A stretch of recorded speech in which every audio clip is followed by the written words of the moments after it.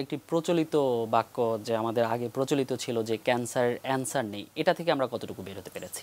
এটা আমাদের দেশে কথাও যদি বলি, তাও বলব যে আমি দশ, গত দশ থেকে পনেরো বছরে বাংলাদেশে ক্যান্সার চিকিৎসায় বিশেষ উন্নতি সাধিত হয়েছে এবং ক্যান্সারের ডায়াগনোসিস এখন সহজে হচ্ছে।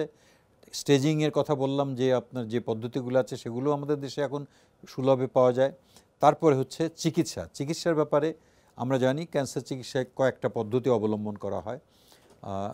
Surgery, chemotherapy, radiotherapy, targeted therapy, immunotherapy বা antibody therapy, immune checkpoint inhibitors, এগুলি সব কিন্তু বাংলাদেশে পাওয়া যায়। আমরা ব্যবহার করছি এবং আমাদের রুগীদের উপকারের জন্য এগুলি আমরা সবসময় এটা রিকমেন্ড করে আসি। আর আমাদের দেশের এই যে ওষুধগুলি শুধু ইম্পোর্ট না, কিছু কিছু হয় ইম্পোর্ট কিছু কিছু তৈরি হচ্ছে দেশে, বেশিরভাগই তৈরি হয় এবং সেগুলি আমরা এক্সপোর্টও করছি। কাজেই আমরা পিছিয়ে নেই, আমরা অনেকখানি এগিয়েছি বাট আমাদের সুযোগ আছে আরও ভালো করার।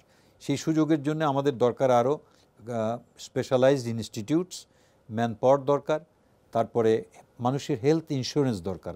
আমাদের দেশে দেখা যায় অনেক পেশেন্টরা আধা ট্রিটমেন্ট করার পরে তার সামর্থ্য থাকে না, তখন হাল ছেড়ে দেয়, কারণ তার সামর্থ্যের বাইরে চলে যায়।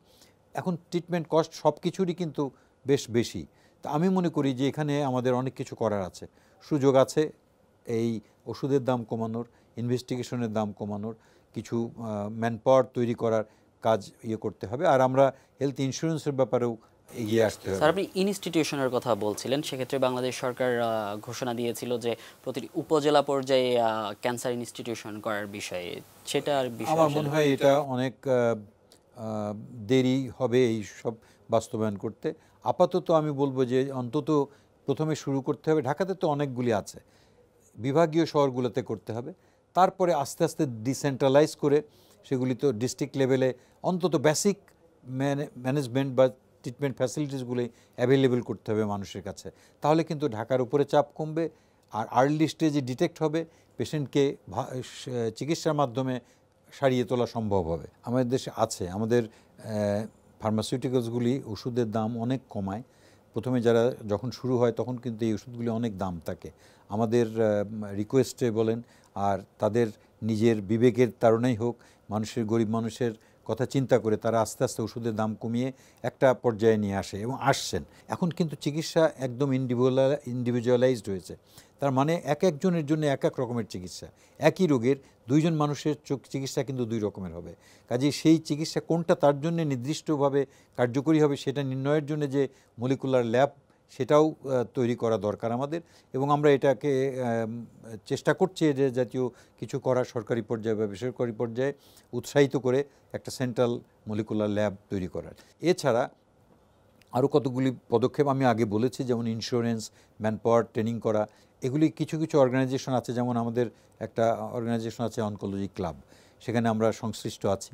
তো সেখান থেকে অনেক ডক্টরকে বাইরে পাঠিয়ে প্রশিক্ষিত করে তোলা হয়েছে তাদের প্রশিক্ষণ দেওয়া হয়েছে তারা এখন কাজ করছে। আমাদের দেশে পিজি হসপিটাল এবং বিসিপিএস এর মাধ্যমে অনেক চিকিৎসক প্রতি বছর এই ক্যান্সার চিকিৎসার ক্ষেত্রে স্পেশালিস্ট হিসাবে তারা বেরিয়ে যায় চিকিৎসা পদ্ধতি কি রয়েছে? আবার আধুনিক চিকিৎসার কথা আপনি এক পর্যায়ে বলেছেন। সেক্ষেত্রে আধুনিক চিকিৎসায় বাংলাদেশ কত দূরে গিয়েছে আধুনিক চিকিৎসার মোটামুটি প্রায় নব্বই ভাগ ব্যবস্থায় আমাদের দেশে আছে। আমি বলেছিলাম যে আধুনিক চিকিৎসার সাথে দুইটা জিনিস সম্পৃক্ত। একটা হচ্ছে যে রোগ নির্ণয়ের ক্ষেত্রে এবং নির্দিষ্ট একটা পরীক্ষার মাধ্যমে। দ্বিতীয় হচ্ছে যে ওই পার্টিকুলার মেডিসিনটা অ্যাভেলেবল কিনা এবং কস্ট তো আমরা আগেই বলেছি যে ওই জাতীয় ওষুধ আমাদের দেশে নতুন যেসব ওষুধ immune check point inhibitor targeted therapy বা tyrosine kinase inhibitor new chemotherapy molecules antibodies সব আমাদের দেশে আছে তৈরি হচ্ছে এবং সেগুলি বিদেশে রপ্তানিও হয়। আচ্ছা, এবার সঠিক চিকিৎসার কথা যদি বলি চিকিৎসা নেওয়ার পরে একজন রোগী আসলে সুস্থ হওয়ার সম্ভাবনা কতটুকু থাকে? এইটা নির্ভর করবে অ্যাকচুয়ালি কোথাকার ক্যান্সার কোন স্টেজে ধরা পড়েছে কি চিকিৎসা সে নিতে পারছে এবং আমি দিতে পারছি।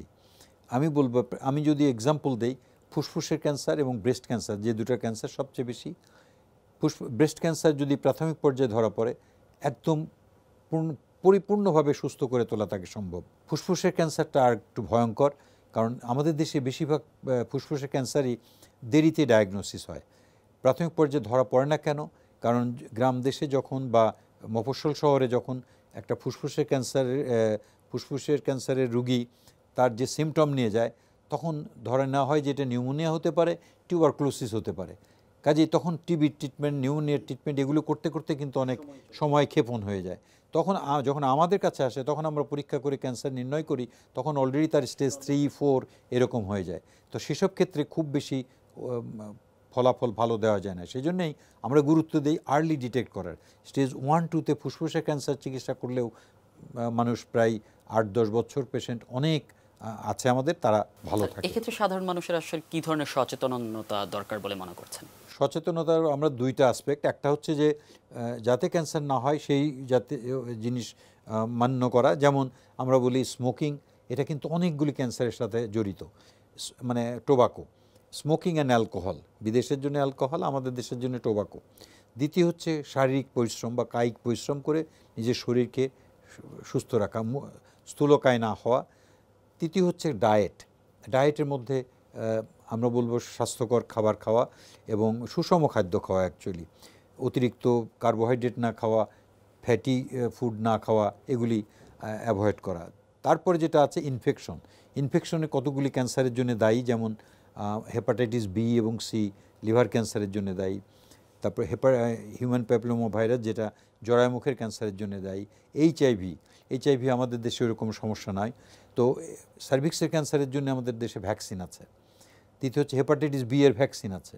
সি হইলে ভ্যাকসিন যদিও নাই বাট আর্লি স্টেজ ডিটেক্ট করলে তার নেগেটিভ করা সম্ভব। কাজেই ওগুলি খেয়াল রাখতে হবে। আর অন্যান্য ইনফেকশন যাতে না হয়, সেইগুলি আমাদের খেয়াল রাখলে আশা করি আমরা তিরিশ থেকে চল্লিশ পার্সেন্ট ক্যান্সার হবেই না। দ্বিতীয় হচ্ছে যেগুলি ক্যান্সার বললাম যে স্ক্রিনিং সুবিধা আছে, সেগুলি স্ক্রিনিং করতে হবে যাতে প্রাথমিক পর্যায়ে ডিটেক্ট করা যায়। তৃতীয় হচ্ছে যদি সিমটম হয়, যেসব সিমটম আমি আগে বলেছি, এরকম কোনো সিমটম হলে অ্যাটলিস্ট একজন বিশেষজ্ঞ চিকিৎসকের শরণাপন্ন হয়ে তার মাধ্যমে, পরীক্ষা নিরীক্ষার মাধ্যমে নিশ্চিত হওয়া যে এটা ক্যান্সার কিনা। যদি ক্যান্সার হয়, তখন আর্লি স্টেজে ধরা পড়লে সম্পূর্ণ চিকিৎসা দিয়ে তাকে সুস্থ করা সম্ভব।